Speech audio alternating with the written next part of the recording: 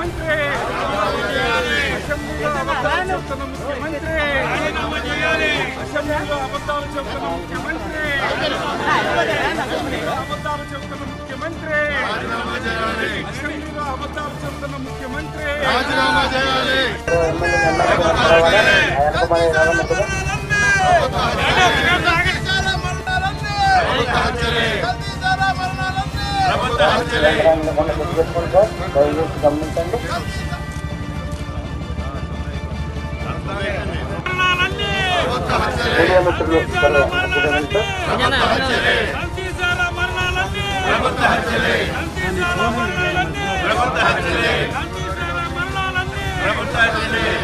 ఈ ప్రజల ప్రాణాలకి సంబంధించిన విషయం.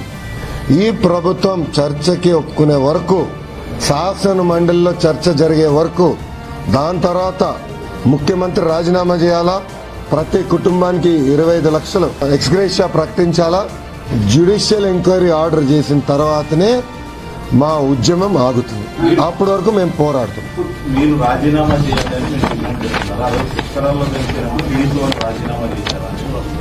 ఇప్పుడు పుష్కరాలు అనేది యాక్సిడెంట్.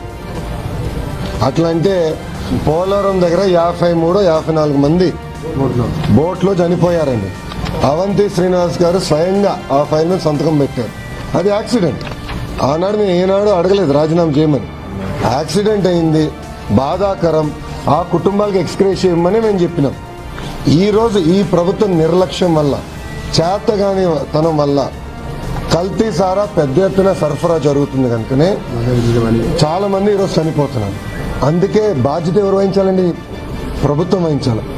రాజీనామా ఎవరు చేయాలో ప్రభుత్వం చేయాలి ముఖ్యమంత్రి చేయాలి. ముఖ్యమంత్రి రాజీనామా మేము ఎందుకు చేయమంటున్నా అంటే సహజ మరణాలని హౌస్ని తప్పుదారు బట్టి ప్రజల్ని తప్పుదారు పట్టాడు. ఇంకా ఆయన రాజీనామా చేయాలని మేము డిమాండ్ చేస్తాం